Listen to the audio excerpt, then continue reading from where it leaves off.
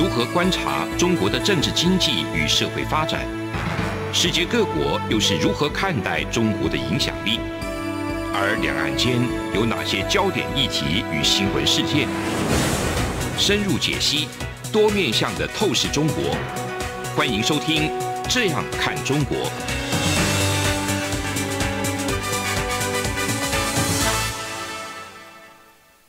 欢迎收听由中央广播电台所制作的《这样看中国》节目，我是主持人刘世杰。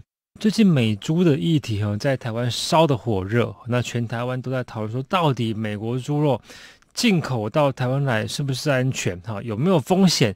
到底台湾人可不可以吃？哈，这么样一个专业的议题，今天我们节目非常的荣幸哈，我们请到了一个在农业上、在畜牧业上。非常具有啊这个本职学能的一个专家，也是我个人的好朋友。他是前台北畜产公司的总经理姚亮义先生。Hello，你好，亮义。主持人好，听众朋友大家好，我是亮义。亮义虽然年纪不大，蛮年轻的啊，比我还要年轻，但是他非常的在这个产业，在这个行业非常的资深哦。不敢，那哎，你要不要跟各位听众朋友先简单的自我介绍一下？就是说你在畜牧这个产业这个行业，大概你经历大概有多几年？经历哦，如果要算经历的话，我五岁开始，我们家 我们家就是养鸡场。因为如果要谈的话，我应该算是鸡二代嘛，鸡二代养鸡的第二代这样。那实际上我们家都是家禽相关的行业。嗯，我的爷爷是养鸭的，在哪一个县市啊？在彰化县。彰化，我爷爷养鸭，我爸爸养鸡啊。我五岁开始家里就开始，所以。一直是在这样的环境，耳濡目染呢。耳濡目染，再像说，台湾的乡下养鸡养猪很普遍。对，在我们家方圆三公里内，恐怕有五个养猪场。哦，所以我们等于是在，就是闽南话叫做阿乌寮迪塞捆了哈，就是鸭母寮猪屎圈。嗯，就在那样的环境中长大，这样。那当然，后续后续虽然我读书跟这个无关，但我出来。工作之后，几乎都在畜牧业服务，这样，嗯，应该就说从小也要帮忙了哈，因为帮忙家里的长辈做一些家事嘛，所以就说其实养鸡相关的，应该是你从小到大就一直一直在帮忙嘛，对，没错没错。而且这个彰化也算是台湾的农业大县，大概每一个当。彰化县长的政治人物，大家都要去面对农业这一块哈，就是所谓养鸡、养猪哦、养鸭哈这些农家户哦的一些他们所关心的议题，都必须要能够非常的了解了哈。那廖毅当然是说，因为家庭背景的关系，从小到大就在这个环境下长大。那你家人应该也很期待说，哎，你有一天也能够帮忙家里面，对不对？你长大之后，对。但这个有趣是。其实我的家人，我的父母亲没有非常期待我投入农业，是因为太辛苦了吗？一来很辛苦哈，那二来是大家都期父母亲可能都期待孩子们可以可以在上吹冷气的办公室上班，不需要像他们这么辛苦了，在鸡舍里面又臭又热又脏。嗯，好，那但是当我曾经在家里工作大概四五年的时间呐，嗯嗯，哎，那那时候是想要打造品牌，那也跟着父亲一起养鸡，嗯，那当然我比较着重于是屠宰之后的加工以及跟消费者沟通这一块，嗯，这是我那段时间比较投入的部分，这样。比较后端，对，比较后端，因为我很强烈的体验是，我要养的比我的父子辈还要厉害哈，我大概要花很长的时间，嗯，跟还要投入更大的专业去研磨这样。后来我转了一个方向是，如果我比他们会卖，嗯，可以帮他们的产品卖得更好，嗯，那在那个当下的合作跟贡献度会比较高，嗯，于是我就投入比较多时间在跟消费者做沟通，嗯，这件事情这样，就是如何去包装产品，哈，做 branding，然后做通路嘛，是包含说，其实大部分的农民的产品还是作为原物料或者作为这个农作物的产品到批发市场去嘛，哈。农家自己有品牌的，相对还是少数。是，那当然自己有品牌，品质要好的时候，我们会提出，其实只要在延长饲养时间，嗯，好，那当当然会加入更好的饲料，嗯，其实这样子的产品在市场上就会有差异性，嗯，所以当时候就是我们从想要做品牌到去调整部分的饲养，嗯，这样子的合作模式，算是小规模的合作模式。跟我爸爸这样子努力了几年了，嗯，这也是非常特别的。那后来亮义就被因为这样的一个特殊的经验跟专业，被这个挖去台北畜产公司担任总经理。这个位置我我想是非常重要的，因为事实上，这个台北续展公司，你的你的例行的工作的对应的窗口，除了台北市之外，应该也包含新北市，甚至许多中南部县市。对对对，当然，台北续展公司是台湾最大的土鸡嗯批发市场嗯，那我们家就是土鸡养鸡场，嗯，所以从小我就很好奇，我们家的鸡卖掉到底去哪里的？就是到就是到都是到这边来。对，那。有机会到这边服务的时候，当然就会很很期待这里的改变，嗯，能够为农民或者为产地跟整个产业结构，可以带来一些调整。这样，所以彰化的鸡养养是送到台北市屠宰吗？嗯，彰化的土鸡部分其实到台中比较多，嗯嗯，到台北市也有一部分，嗯，但是在对台北市来说。依赖度最高的是台南、云林跟屏东，嗯，反而是彰化依赖度没有那么高，嗯，因为彰化跟台中的地利之变，还有台中的消费模式，台中消费模式是它少量的抓，嗯，但当他发现需求变大，马上需要的时候，马上会回头去彰化抓，所以它的那个互补的效果很强，嗯，那台北比较困难的是，台北要的量就是固定的。它这个量很大，有缺的，对它每天大概五六万只。当有缺的时候，被个绕车美湖啊，还几多车一次的车程那么的远，嗯，所以这个形态不太一样。嗯嗯嗯，所以这个就是说，像台北畜展公司这样的公司，是在台湾来讲是每一个县市都有吗？没有，没有，没有，没有。那台北是因为它量太大的关系？台北是因为量大，那些长期的历史因素。台北、新北、桃园、台中，嗯。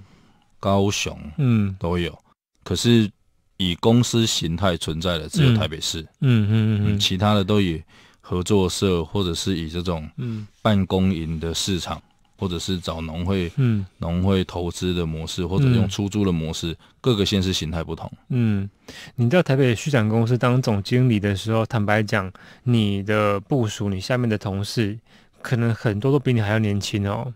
有有一些，有有有一些哈，嗯，那你去的时候，那是二零呃一五年吗？二零一六，我一开始是一五年担任常董，嗯，那后来到一七年担任总经理。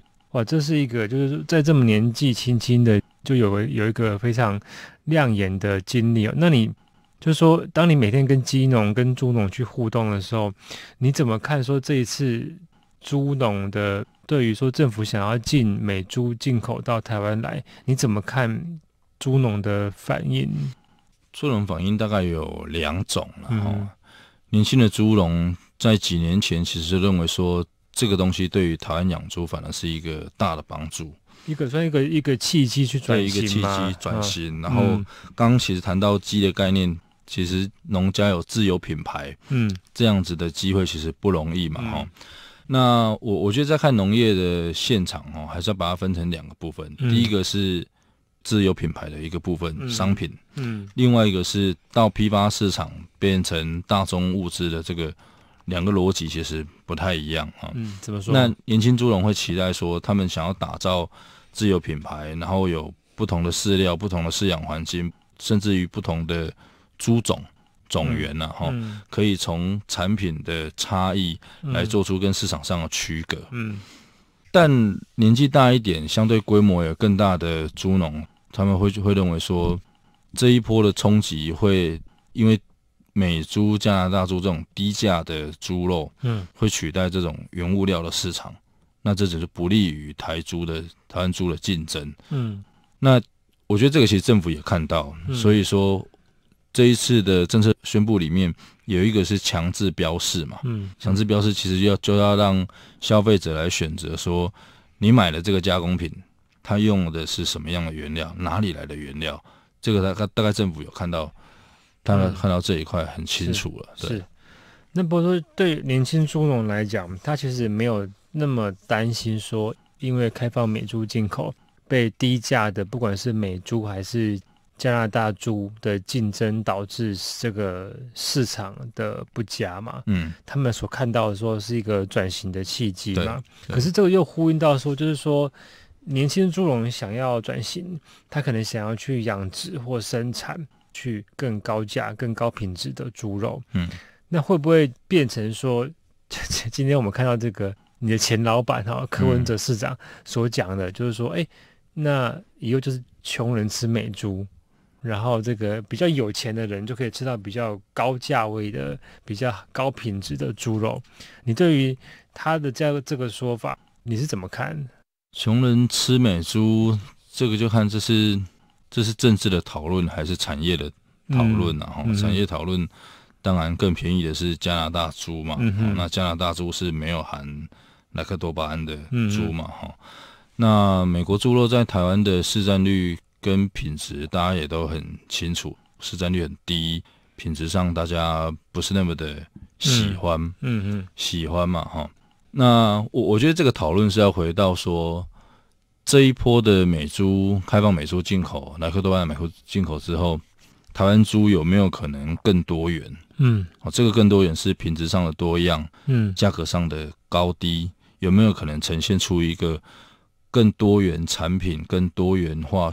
畜牧就生物多样性的概念的可能性，嗯嗯，那我认为这是一个机会了，嗯嗯，这样当然，大概如果一个社会是用低价的模式要寻求高品质的农产品，这大概也不是一个长期正常的模式，嗯那未来台湾猪会不会有更大的价格差异？我其实乐见于看这样子的状况，嗯嗯，哦，不是说一定会贵到什么样程度，而是有市场上有某。一小小的比例的做出高度差异的，那可能它的它的动物福利更好的，它的饲料用的更好的，它的肉质更好的。如果台湾猪在这一次的机会里头，可以有机会到达西班牙伊比利猪的水准，嗯，或者超越它，嗯，那有什么不好？嗯哼。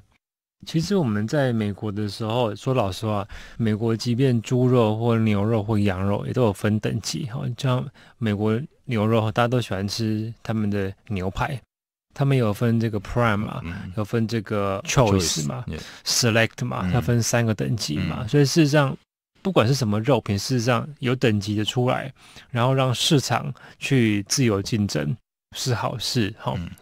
我们节目稍微先休息一下。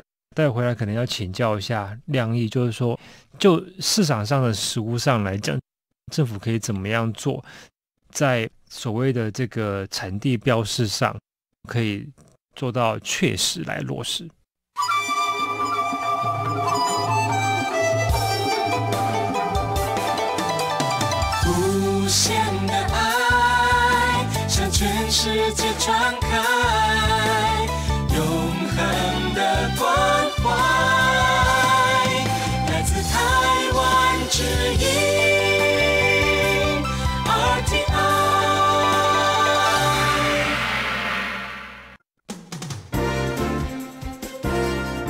从两岸、国际、历史文化与财经等角度透视中国的《这样看中国》节目，每周一到周五晚间九点三十分到十点在中央广播电台播出。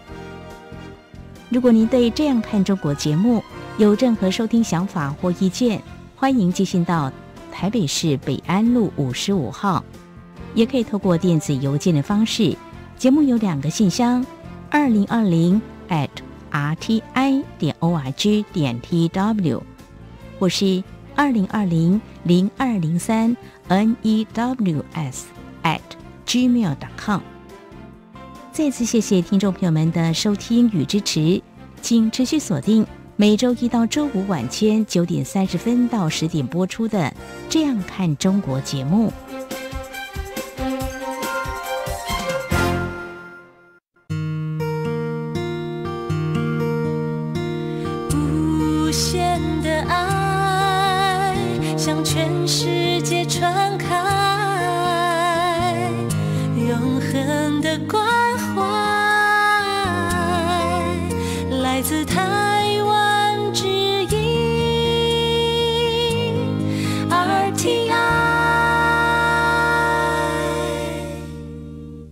欢迎回到我们的节目。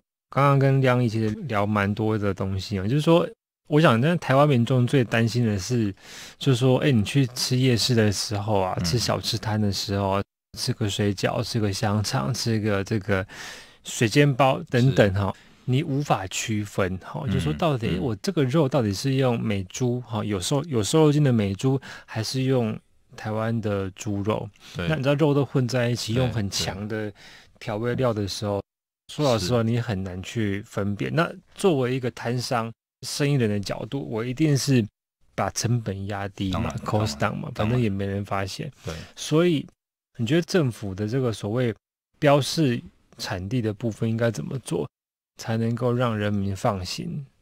这个部分，我觉得绞肉的部分哦，的确是有相当高的难度了。嗯，虽然说我们在食安台湾经历过几次的食安风暴之后，在整个食品就是原物料的溯源上都有要求这样子的单据。嗯，但是回过来食物面是说，你看到一个绞肉多大多高的比例，嗯，需要去标示它是。来源哪里？嗯，我举个例子说，今天今天我们彰化有名的是霸碗嘛，哈，肉圆。嗯，那肉圆的内馅势必是超好吃的，对，超好吃的，有绞肉，有笋子，哈，各方面的。那如果这块角落有百分之二十是加拿大猪，百分之二十是美国猪，百分之六十是台湾猪，嗯，那我要不要标示？嗯，我是问题啊，我是提出一个问题出来啊，嗯，就这如同说我们的。Made in Taiwan 的台湾精品的的这个家具也好，或者是运动器材也好，嗯，百分之四十是台湾的零件，在台湾组装，嗯，可以称为 Made in Taiwan 的产品，嗯，那今天角落到底要怎么规定，才必须要标示，必须要强制标示？到目前为止，好像没有看到看到这样子的的说法出来了。当然，当然有可能我们对于食安相关法律不够熟悉的关系了哈，但的确在食物上，我认为真的会有困难哈。因为你混在一起的时候，说老实话也很难吃得出来，绝对吃不出来，绝对吃不出来，没有这么厉害，还有加对酱油、葱蒜，没有这么厉害。然后像像其实还有一个现象嘛，就是有些的便当店它会挂国产国产那个肉商的贴纸，嗯，我我相信未来会有类似的状况了，就像。这是一个服务的概念嘛？我是国产的猪肉肉商，那我提供一个招牌挂在这个店家的门口，嗯，这没有强制性哦，嗯，我挂了四节肉商的 logo，不代表我里面一定是用国产的猪哦，嗯哼，那长期以来其实都有这样的现象嘛，但是这个业者也没有违法，嗯，我也没有告诉你说我挂了贴了你的贴纸就代表我有用你的产品啊，对，也不必然嘛，对啊，那。我觉得这个在真正实务上难的是在稽查跟后续的法则，嗯，怎么样再度取得国人的信任，这个其实是很很重要的一环呐。嗯，就是说说这个稽查可能门一打开哈，你要再关起来会比较困难，然后就是说可能会变成说是一些比较具规模的餐厅或店家，他有办法有能力。在食物上，在技术上去配合政府的稽查，包括去查说他每天进货的来源，他的销售的比例去回推。嗯，但是你说一般的这个所谓很多没有开发票的这些，当然当然，你根本就很难了哈。他今天去，比方说去去市场买了一块美珠，然后回来卖，嗯，然后。他否认你也很难说，他他的这个食品是由美珠做的。嗯，那政府怎么罚？会不会因为太繁琐的这些稽查的程序造成扰民？就说啊那怎么样做才是公平的？嗯，这个可能种种都是，而且他也不可能做到说，就是说每株在购买的时候要实名制啊，他也不可能去去做这样的一个事情嘛。购买实名制，我倒觉得比较容易。真的吗？我觉得，我觉得这个概念是说，店家跟原料商买的时候，这个可以查到单据，这个不难。嗯嗯嗯。但我觉得实名制的概念跟这个防疫的这个概念就不太一样的差别是，比方我去路边摊买了一个水煎包，嗯，那这个当然不需要实名制嘛，嗯嗯嗯，一一。不会出事嘛。对，好，基本上不会出事嘛。可是水煎包的店家买这个原物料，这就必须实名制了。嗯，因为它会有单据上、法律上的法律上的原因，因为要溯源嘛。嗯嗯嗯。所以我倒觉得这个实名制不难。当然，概念跟我们现在防疫是不太一样的模式，这样。嗯嗯嗯。哦，这个对啊，这个因为也要小心到说不能够侵害到人民的权利啊与义务哈，这个要非常的谨慎。对，那我想政府当然因为是外交上的考量哈，就说已经决定要推这个事情了。那目前也看到许多的在野党，包括民众党，甚至是时代力量、国民党等等，都在试图的在。提出一些算是提醒啦，哈，也不要说是警告，哈。那但是政府看起来意志是非常的坚决，哈。那就我看起来，就是像我们刚刚所讨论的，哈，这个题目说老实话，就是一个外交上的一个政治的题目。是，我我倒觉得，其实台湾曾经发生过一次了啦，在两千零二年阿扁执政的时候，那时候加入 WTO，嗯。那那时候就开放白肉鸡的全面进口，嗯，包含说白肉鸡的杂碎啊、内脏，嗯那我的印象中啊，那时候是谈说用这种肉类跟这个农业上的进口去换取金元的出口，嗯，当然那时候谈论非常大的这个加入 WTO 之后的农业补贴，各种补贴，嗯，来确保国内农业的稳定。那那时候的大概念就是，其实就是拿农业去换。其他的项目嘛，哈，那这一次看来，其实我的感觉是更复杂了。刚刚主持人谈到说外交的考量，过去经贸的考量，这一次也包含了这种国防上的国防上的考量，这样啊。那的确，书其实就被视为一个国安的一个嗯项目嘛，那那也必然说，这是为什么说会这么的敏感。嗯，但我倒觉得说，如果如果今天大家每个人。换一个角度是，你是可以参与总统级的决策的时候，嗯，那会做什么样的决定？以现在总统的这个声望，嗯，再加上国际的这个局势，就是现在跟一二年不一样的是，这四年全世界历经了美中贸易，嗯，历经了非洲猪瘟，嗯，中国也好，整个亚洲的席席卷，历经了武汉肺炎，嗯哼，那已经这半年来台海相对比较紧张的关系哈，嗯。这四年发生的这些状况，如果今天政府的态度跟过去也都还一模一样的时候，不做改变，那这个是合理还是不合理的模式？我觉得大家也要思考看看。嗯嗯，对啊，就说在非常时期就要有非常的政策跟做法哈。那怎么样作为一个总统，作为一个国家的元首，怎样才是能够真正保护到台湾的最大利益啊？这个我想就是说。全民都要去思考的一个事情，是啊，是啊。那当然，现在二零二零大概当然是跟二零一二会差很多。那么，但是有有人说，进口美猪有没有能够帮助台湾的猪肉出口？你觉得呢？我倒觉得这个题目没有这个这两个关联性没有完全的 match 了哈。台湾的猪肉出口，那现在政府宣称是亚洲唯一一个可以出口的国家，因为我们那个口蹄疫对口蹄疫拔针嘛。但另外一个是。台湾的传统猪瘟，嗯，台湾还是传统猪瘟的疫区，嗯，那可以出口到其他国家，但能不能出口到日本，其实还是一个问号，哈，嗯，那以目前国产猪，台湾国产猪的成本这么高的状况下，出口到其他国家有没有竞争力？这个真是 case by case 的，每一个状况不一样，这样哈。但是如果要出口，有一个东西必须要面对的是，出口要有部位肉的概念。嗯，那国内是半边半只嘛，半只那种半边低半只猪这样子的概念，但出口去是对方喜欢猪的哪一个部位，嗯，那这个价格品质怎么定？嗯，哦，这个必须重新再建立一套标准。台湾有没有这样子的背景？有，在一九九七年以前，我们有土体评级的制度，嗯，因为当时候我们外销到日本是非常大的量，嗯，经过了二十四年，这套制度几乎不在了。那整个不在的原因是什么呢？因为我们二十四年没出口了。哦，那国内的猪都是国内的猪都是活猪走秀的拍卖嘛。嗯嗯，对，没错，这是荒废的。那荒废的要重建其实也不难，因为全世界都是走这一套土体评级。嗯，台湾必须重新建立起来。嗯，这个的建立包含了肉品的资料库。嗯嗯，我举个例子，就是说，比方说五花肉，五花肉油花要怎么分布？嗯，那它的多少公分、多少的面积？嗯，这个都有科学的仪器可以去测量。嗯，那台猪必须要有这样子的数字出来。其实，活猪走秀感感觉是一个很不科学的嗯做法，是吗？但是对猪农以及对于那种画地野狼现场在叫那他们怎么看呢？看到一个，他们觉得非常科学哦。那他们怎么看？就是说看猪在看猪的体型、体型跟形状嘛，身形走路的，但是就是只要它身形，嗯，走路的样态，它就可以判断这一只猪的瘦肉肥肉比。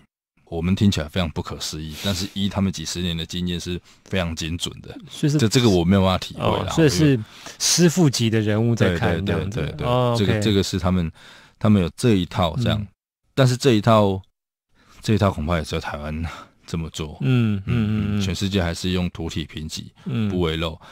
差别是在于说一个肉品的好坏哈，其实跟除了怎么养，怎怎么养很重要，嗯，可是杀的功夫，嗯，分切的，嗯，技术，以及后续这种低温熟成、熟成的温度控管，嗯，其实都攸关最后那一块肉的品质好坏。就这块肉呈现到在消费者要购买之前，有很多有很多的加工的技术就对了，嗯，但我们做毛猪拍卖跟去菜市场购买的时候。或者是毛猪拍卖，直接到直接到那个现代化超商买的时候，其实就后面这一段的价值看不到了。嗯嗯嗯嗯，对，因为刚刚谈到嘛，价这一只猪的价格高低是从外形上去判断嘛，而不是从肉质上去判断嘛。对啊，这又牵涉到说你之前曾经在脸书上提到这个冷链运送的概念。嗯，这个冷链运送，它就说是一个很高成本的技术嘛。